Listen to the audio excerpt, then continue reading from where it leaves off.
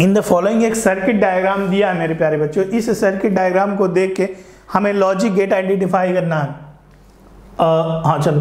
तो ये आसान सवाल है। लॉजिक गेट बहुत सारे क्वेश्चन किए हम लोग और आई होप कि आपको लॉजिक गेट में मेरे बताए हुए तरीके आपको पसंद आए होंगे क्योंकि मैं बुलियन एलजेब्रा से सॉल्व करता हूँ एक लाइन में हो जाता है।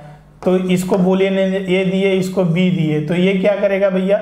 ये इसकी शक्ल से देख के लग रहा है कि ये जोड़ेगा। तो ए प्लस बी और ये बिंदी क्या करेगी? तो ए प्लस बी का बार कर देगी। अब ये जो बार है सिंगल इनपुट है। ए और बी बराबर है। तो फिर ये क्या करेगा? ये क्या करेगा? ए प्लस बी इसको मिलेगा और ये कुछ नहीं कर पाएगा कि दोनों इनपुट बराबर है। और ये बिंदी क्या करेगी? तो ये बिंदी करेगी ए प्लस बी का बार का बार कर देगी।